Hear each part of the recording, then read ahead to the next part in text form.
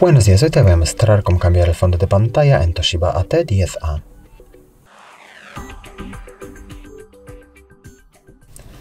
Para eso abrimos la aplicación Ajustes y aquí a la izquierda buscamos la pestaña Pantalla. Es una de las primeras de aquí. Y luego aquí pulsamos la segunda opción Fondo de pantalla. Y aquí podemos poner un fondo animado, un fondo preinstalado y más abajo poner una de las fotos de la galería. Vamos a ver si tenemos alguna foto. Podemos poner por ejemplo esta. Entonces después de pulsar la foto podemos como ves ajustar la imagen por ejemplo así. Y después de eso pulsamos aquí arriba a la derecha aceptar. Esperamos un poquito.